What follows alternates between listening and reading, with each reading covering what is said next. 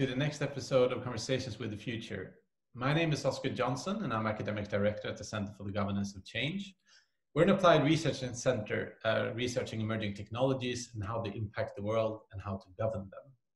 One of the things we're thinking about is um, the future of higher education, which is the topic of today's episode. Education is one of the most important tools for improving society, changing individual destinies, for social mobility, and ensuring tomorrow's wealth by innovation. However, today um, the world is changing at breakneck speed. So we want to ask ourselves, how's universities handling this change? Are they keeping up? What should we be doing? Today we're joined by two people who have not only been researching this, but also put their money where their mouth at, so to speak, and created their own companies and programs in order to improve education. Both of them are also member of the advisory board from our project on the future of higher education that will be presented early next year. We have first Dr. Victoria Galán Muros, who is co-founder and CEO Innovative Futures Institute, a think and do tank that advises and supports universities, business, governments, and innovation efforts. She has worked with the European Commission, the OECD, with governments, universities. We also have Dr. Jason Blackstock, who is CEO and founder of How to Change the World, uh, a program and ex experiential education program to solve our technical, economic, and social questions. Jason was also the funding head of UCL's Science, Technology, Economics, and Public Policy Department between 2013 and 2018, which he's still involved with. Um, and I want to ask the first question to you, Jason. First, you created this department in UCL, and now you're CEO of, of How to Change the World. Where does this come? Where does this come from? What, what wasn't working? What were you trying to fix? Oscar, thank you very much. Um, it's a great question. Um, and uh, let me start by saying modern universities are doing some absolutely phenomenal things. We only have to look at some of the contributions they've been making to, for example, COVID and, and the, the societal response to COVID, from designing new PPE and ventilators through to vaccines. They're making great contributions. But I think we have to remember that the modern university was designed predominantly as a research institution. And that dates back to the history of the university from the 12th to into 19th centuries when they were predominantly just research institutions with a very small number of individuals. And the success they had during the world wars in contributing to the knowledge generation that helped win the war, it led to the modern university being launched in 1950 when uh, that really was focused on research to solve technical challenges. And it's done a brilliant job at that but we call them higher education institutions, but at their heart, they really are higher research institutions. And I, I, I, wanted to lay that as the foundation, along with one important statistic. In 1950, when the foundations for the modern research universities were being laid, less than 10% of European and North American populations went to university. Unsurprisingly, today, more than 80%, 60 to 80%, depending on which country you're talking about across Europe and North America, are going into higher education degrees. The model that was set up in the 1950s around research doesn't necessarily scale to deliver education to that level. So you asked the question, uh, what was not working? Why did I do an educational spinout? Well, two reasons. One, setting up a new department in a university is a rare opportunity. And I was really blessed to be able to do that in, in a university like UCL. And we pushed the boundaries as far as we could. And we've done some really innovative stuff in, in UCL STEaPP to create different models of education. But uh, as I know we'll talk about here, the rate of change of the, the needs of society in terms of modern education, in terms of mo- not modern knowledge uh, uh, and skills development, is just outpacing the ability of large institutions like that to keep up. Um, and so, and uh, so, I spun out how to change the world. We developed the program at UCL and delivered it there, but we spun it out into uh, into a social enterprise to be able to deliver it even more widely because UCL as an institution isn't equipped to set up educational programs that help other universities develop their curriculum aren't it's not set up to uh, run uh, professional development programs inside large organizations that need the same skills development that undergrads are getting today and so the diversification of how we deliver education is unlikely to be done just by large institutions we need to have a more creative ecosystem and that's part of the reason we need social enterprise as well as modern universities Thank you very much for that, Jason. And I see you nodding, Victoria. I, I mean, I want to ask a very similar question. What you know, was this also what you were looking at and thinking of, of higher education being higher research institutions? Is that why you set up innovative um, innovative futures in innovative futures institute? Sorry. Uh, yeah, well, thanks, uh, Oscar. It's a pleasure for me to be here and just uh, also having a conversation, not just with you, but also with with Jason. Uh, for me, the I completely agree uh, with uh, with all these statements that uh, Jason has made, and and for me was slightly different because after working in academia and in industry and also uh, in government multilateral organizations and seeing how disconnected disconnected they were and also doing a phd on university industry collaboration to understand this topic really deeply i decided that my place was right there right in the interface in the middle of all of them because I mean, currently from uh, in Innovative Futures Institute, we are supporting higher education institution, business and government, but to innovate, but to do it collaboratively.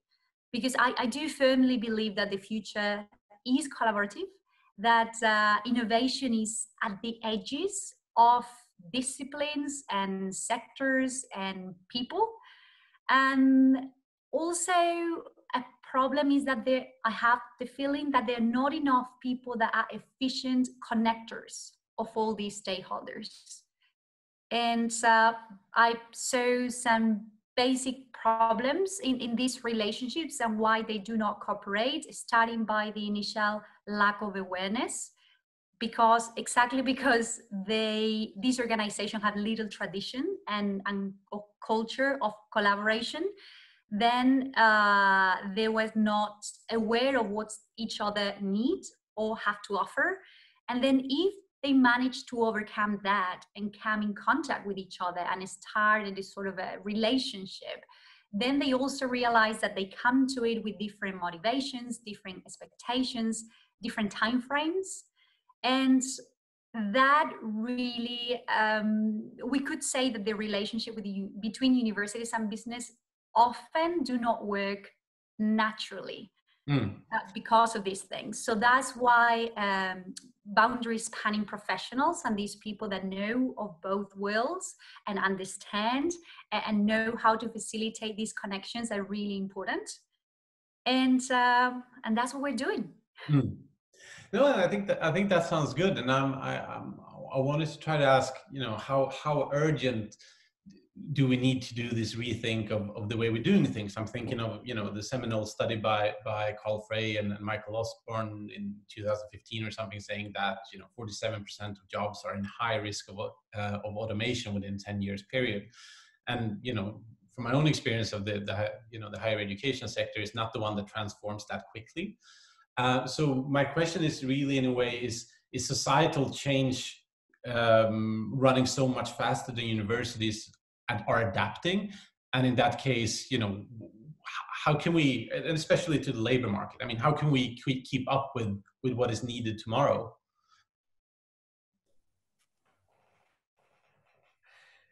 Uh, let me uh, eh, let me just answer that with a, a resounding i don't think the universities are going to keep up. I don't think they can um, and I think we're going to see, uh, for lack of a better phrase, a lot of creative destruction in the next two decades. I think it's an essential part of uh, revitalizing the way we think about knowledge management, skills uh, development um, uh, in the 21st century. I think we're, we're facing um, uh, we're all very familiar with the uh, the concept of the fourth industrial revolution, um, uh, and uh, and I think that while there are there are limits to that idea, I think it is a powerful one. And if we think back in response to the previous industrial revolutions, I would argue one of the uh, the most important public policy decisions that was made in response to the first, second uh, uh, industrial revolutions was the creation of universal primary and secondary education, K to 12. You couldn't have a literate, numerate, engaged citizenry without that in the modern world that was created then. Um, but today, in order to respond to uh, to the impacts of the third and fourth industrial revolution, I think we need that scale of rethink and rewrite of what higher and lifelong education means.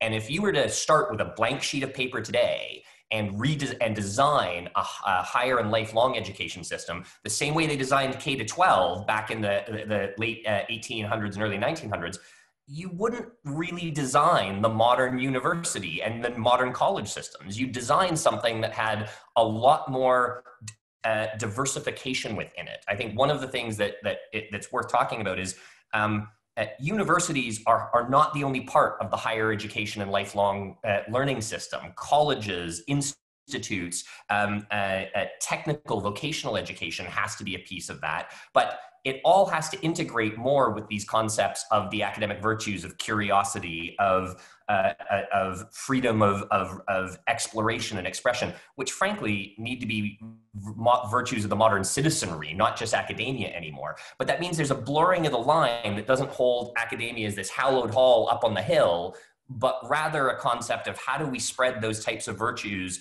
throughout society and diversify. I couldn't agree more with Victoria that we, we have had a tendency to treat academia over here, industry over here, public policy over there, and with very big disconnects between those those communities within society. We if, if we were to redesign with a whiteboard what the higher education, lifelong learning, knowledge system look like, you you design a much more interconnected system than we have today. And I think that's part of the reason that we're seeing innovation at the boundaries to try and break those down. And I think we're going to see a lot more of it driven by the fact that large institutions who don't change their incentive structures fast enough are never going to keep up with the rate of change we're seeing. And you're going to see a lot more uh, creative destruction coming in from uh, from innovative organizations on, on the edges.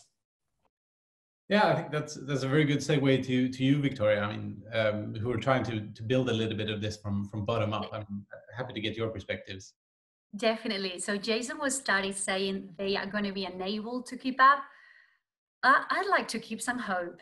So let me tell you, I do believe it's going to be extremely difficult for them to keep up, but I would like to just just give or, or, or leave uh, a bit of a light to say that if they react quick and reactively enough, it has to be like that, otherwise small changes are, are not good anymore, then they might be able to still play a role in the future society. I, I like to believe that. And, uh, but for that, for that really lots of things need to change. Probably the first one is the belief or I would say firstly they need to believe that universities do not have the monopoly of knowledge anymore. Knowledge is everywhere and we have academic knowledge and we have practical knowledge and it's all valid and it's all valuable. And and universities need to be humble enough to recognize that and as a consequence to open up, to open up with collaborations with other universities, with other education institutions, with industry, with government, and with society. Uh, for me, it does not make sense anymore to think about a university that is closed in itself. And then that will translate in a more operational way to uh, do, for example, to offer shorter courses on demanding skills like micro credentials, for example, things that will, what the currently all universities offer is just way too long. We cannot start just a degree that, and then in four years, uh, to, to even pretend that that's going to have any relevance for, for the labor market. So um, shorter courses will help.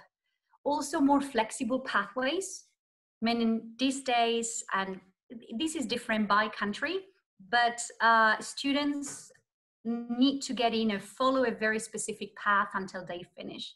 If universities become more flexible to let students to go in and out, to let students to mix different disciplines or different uh, courses from different faculties or even from different universities or even to take licenses that are from other education institutions, that would already help uh, there's no doubt, um, as Jason was talking about um, uh, the risk of automation, the only way that you can counterbalance that is with human skills, and that's transversal skills.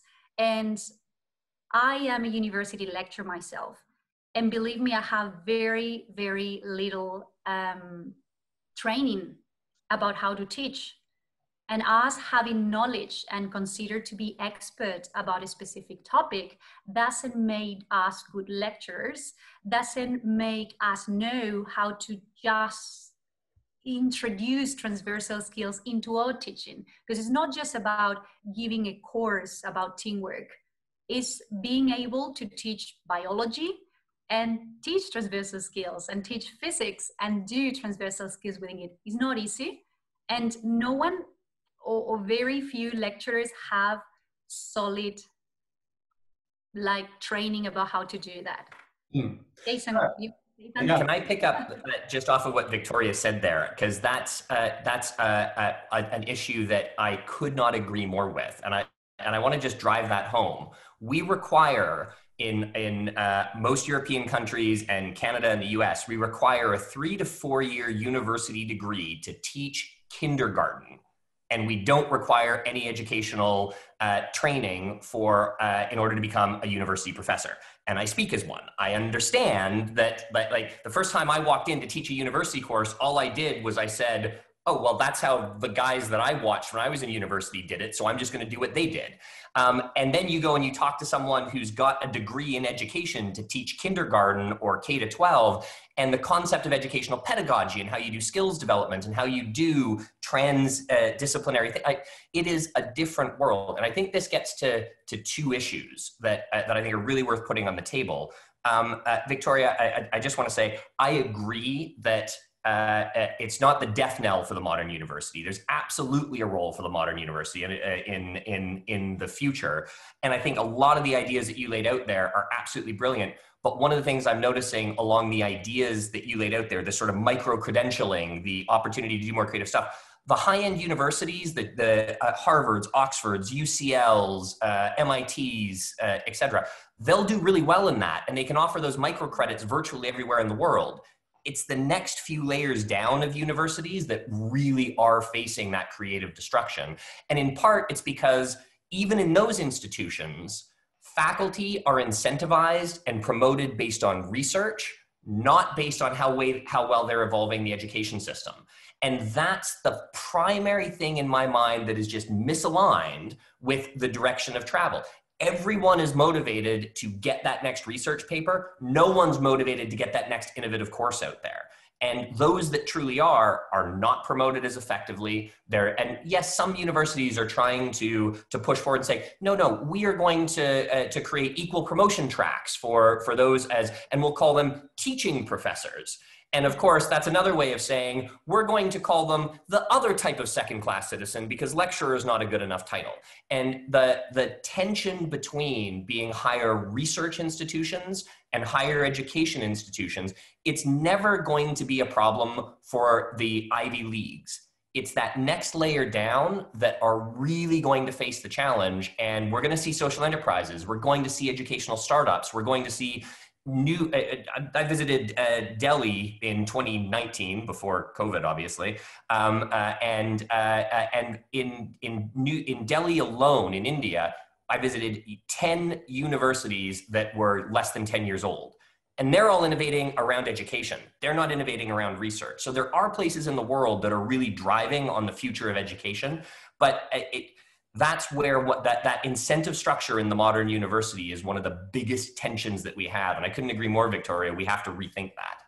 Yeah and i think to, to add something there i mean jason you touched upon that uh, earlier and i think that i don't know if it is a divide or if it's if it's only seen as that because on the one hand i i perceive that universities are thought more and more as a as a tool to pro, you know to produce the right labor which you know says okay you need to revolutionize very very quickly. But on the other hand there's uh, you know we talked about virtues. I mean we talked about you know critical thinking. We talked talked about you know epistemology ontology etc is, is is there a tension between those that that you know the role of universities are are, are you know split in the middle between you know being a, a ivory tower far far from society that holds on to to their principles? Or uh, in the other hand, kind of the market pool saying, you know, produce the best um, MP, MBAs and MPPs and, and, and, engineering degrees for what the students will actually get hired on. I think uh, so. A couple of thoughts on that that I would add. Uh, I I have a difficulty with thinking about the, the concept of the academic virtues as separated from the real world. Uh, when you look back in history at the most creative geniuses, the most creative uh, academics that did their research, they were living through times when the real world around them was giving them the stimulus in order to do that. And uh, it's uh, uh, the idea that we have to teach the concepts of critical thinking or, or, or research and the basic foundations of the scientific principles and the scientific method as detached from the real world is bluntly due to the lack of creativity of the educators. Um, it is very possible to teach all of those virtues and values in, in the process of engaging the participants in problem-based learning, in engagement with real-world problems, where they're also developing the technical skills, where they're also developing the vocational skills. So I don't see them as being antithetical. I, I see it as being a challenge with how we've done the educational design. And the other thing I'll say is, um, not to put too fine a point on it, but we don't need everyone in society to be a university professor. We certainly still need plumbers and electricians and technicians and people with good technical skills in order to, and we can add some of the university, uh, the, the, ideas that we hold in the ivory tower to those types of educations uh, just as much as we can bring some of that technical skill into some of the uh, educational programs that we, that we hold within universities as separate from that. So I, I think it's a mix. Yeah, thank you for thank you for that. I'm going to let Victoria have the uh, option to comment as well. Uh, I just want to put a, one last question before we round this up, which you can think about. And meanwhile, Jason, when I pass the pass the word to, to Victoria, but it's also uh, what have we learned from the pandemic? Has the pandemic, um, you know, strengthened the trend of, of everything going online, or has it proven to be the best argument for actually this is the time for for in person? Uh, and you know, MOOCs, the MOOCs hype has has come and gone. Um, big question. Uh, we don't have too much time, but I'll, I want to throw it out there as well. Victoria. I'll try to go through quickly uh, through them quickly. Just going back to to the prior question uh, when uh, Jason was talking about the misalignment of incentives. That's something I did study business, and from an organizational point of view, it just doesn't make sense. So you you hire someone because he's a good researcher, but then you put them only KPIs that are research related, but then oh by the way, there is also teaching, but there is no KPIs with that at all. So that it just does not make sense. But um, I also have to bring governments here because there are countries in which public universities are the majority of it. And so these incentives usually come from public policy. So if already governments are saying that the way we're going to evaluate all the academics in the country is going to be based on research, it's not that universities themselves can have much more of a say on that. They can encourage them to be good educators, but at the end of the day, the real incentives are set by the government are our own research. So that is in respect to, to the other question. And when you talk about um, the academic uh, virtues or, or the lay, or universities as, as labor market tool, I do totally agree with, with Jason in the sense they are not contradictory. And it's very common. I found myself in conversations lately in which uh, when we ask about the alignment of uh, HEIs to, to business needs or labor market needs, there's some people who disagrees and they say that oh that's company training. And it's like hold on. In in a rapidly evolving world and if we take the last large um, surveys that have been done or to employers about what are the skills more demanded and sometimes they even mix transversal and technical skills they all agree transversal skills. Technical skills are going to be totally outdated in two years. You don't want that or, or at least if you have to prioritize you don't prioritize that you want graduates that are able to adapt to the constant and rapidly changes of the labor market. And you're only going to uh, have that with the transversal skills. And also those skills will make graduates better citizens. And we're talking about critical thinking, cultural awareness, resilience, like proactivity. Those are better citizens uh, at the end of the day. And, uh, and we shouldn't be scared about, are we thinking too much about universities as a, as a tool for labor market. If we don't do so, we're also putting a huge burden in graduates because they will not find a job. and a large proportion of the population being unemployed also put a burden in a society. So let's just, and traditionally we have not think of universities uh, in the in the value change of companies at all. so I, I think we need to push a little bit, just being completely aware that there are those uh, skills that might not be directly applicable. There is these theories, there is these basics. Yes, they need to remain, but we just need to balance it a bit more. In order to balance, I feel we need to push a bit on this side. A short sentence in the COVID um, changes. Uh, COVID change, the changes that COVID has brought, a lot of them will remain. And I, I definitely don't have a definite answer about what's going to happen, but I've been thinking lately, for example, the possibilities of if online learning really stays, does it mean that me, like a person like me that want to uh, continue just having an education or an 18 year old person from anywhere in the world, could they all apply to Harvard, Stanford, Yale because they are going to be studying from home? Is then anyone competing with anyone in you know in the in the student in the in the education sector? uh, that really makes me think because these universities have started to really broaden up. Before they were elite because they only accepted a very small percentage of the people that apply. But if they continue broadening up the amount of people that they can actually accept because they are studying online, what about universities beyond those top universities? Will, if I can choose to study in any university of the world and I are more likely to do it in those top, I'll give it a go. so it really poses uh, a lot of uh, very interesting questions, and I just don't want to stand myself and just uh, let Jason just to say something about this as well. Perfect, Victoria. Thank you. I, I, I agree with everything you've said. I'll just add a couple of thoughts that have been in the back of my head about what uh, what COVID has been uh, how it's been accelerating some trends. So, Oscar, you asked about, you know, is COVID accelerating? And, and the short answer is absolutely. I think it is going to accelerate the creative destruction issues um, because uh, it, it has, as Victoria said, has opened up uh, uh, the market even more than it used to. And if more students are competing to go to Stanford or Harvard or uh, because edX and other platforms like that make it more accessible, it's going to make it that much harder for the uh, the second, third tier, as we call them, tier universities to compete unless they truly diversify. So I think we're seeing that's one driver that we're certainly seeing. A second driver that we're seeing though is frankly, COVID has locked a lot of researchers out of their labs and locked a lot of uh, the those professors who've never really had to think much about teaching, who just use the same slide deck from year to year to year to teach a course, to think about, damn, how am I going to do this online? And maybe I, I, I have seen it spur a reasonable amount of creativity and, and educational thought.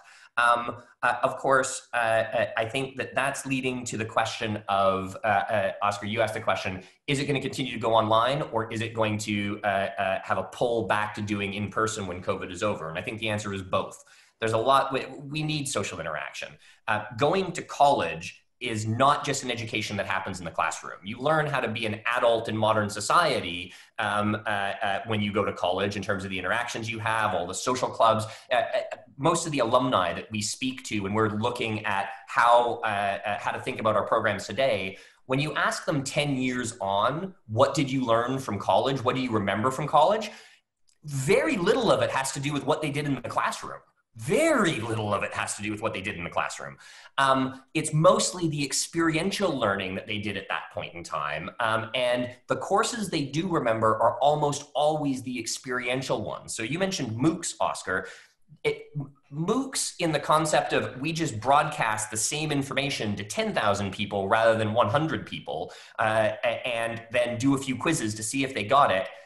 Yeah, okay, interesting, and I'll do that the next time I know I need to learn to code Python, the, the next time I know I need to learn to do the next technical skill, but I'm probably going to wait until the point in time that I need that technical skill because otherwise it's going to be outdated in a year anyway.